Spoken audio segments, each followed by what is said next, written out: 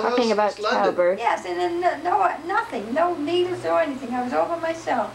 Yeah, Really? Dad, you bastard. Thanks a lot, Were you Dad. at, were you you not at have your a own midwife or house? Well, yeah, they Well, the have, they didn't doctor do it in came hospital. eventually, but the, the doctor was there when he was We're talking born. 1941. When Rich was born, um, my aunt and my mother went up about five blocks to phone the midwife, left me alone with Tony in bed. He was born five minutes after they left. And there I was alone with Tony screaming beside me and the ba- Richard between my legs. And I thought, oh, is it, first thing I did to see whether it was a boy or girl. That's natural. I'm adopting. Yeah.